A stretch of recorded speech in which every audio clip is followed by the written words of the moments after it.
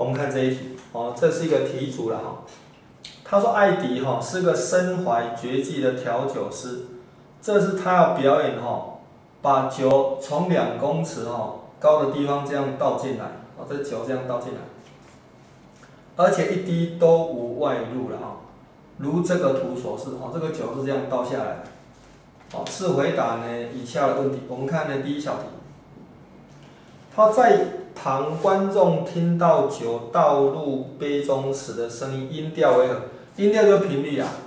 因为这一倒的话，哈，这个什么呢？这个酒哈就越来越上升嘛。那越上升的话，这个呢，呃，管子哈，空管的部分的哈，空气柱的部分哈，它越来越短。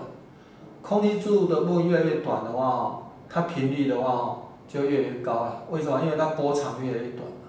波长越来越短的话呢，频率就越越越高。哦，因为这频率哈是等于那个波速。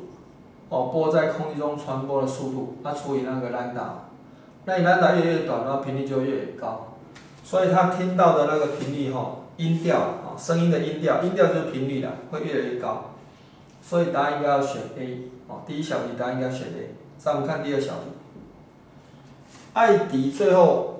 要表演水晶音乐了哈，他取得了四个大小相同的酒杯了哈，如这个图所示哦，这个我忘了画啊，这四个酒杯哈，他倒的酒哈，这一杯呢比较浅，那这一杯哈，这一杯的话呢稍微高一点，这一杯的话哈，在这个高一点那这一杯哈。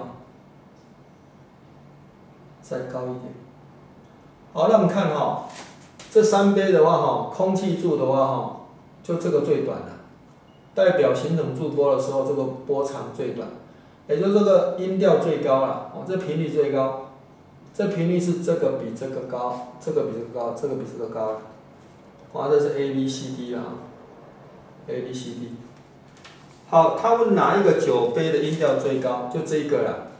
所以答案应该要选 D，第二小题答案应该要选 D。